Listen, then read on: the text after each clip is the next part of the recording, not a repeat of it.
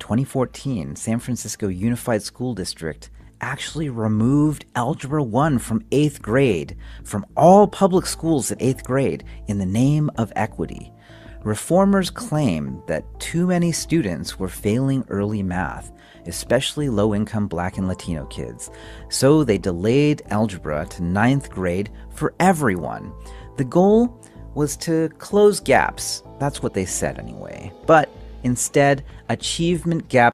But obviously, when you close those gaps, black students who can actually do the work don't get it till ninth grade, and therefore they get one year less. And what other students do is they go out and they buy uh, online courses and do things that our students can't do that they're aware of. They bring in, you know, teachers to teach students in pods, and they get ahead of our students that way, all because they tried to make everybody the same.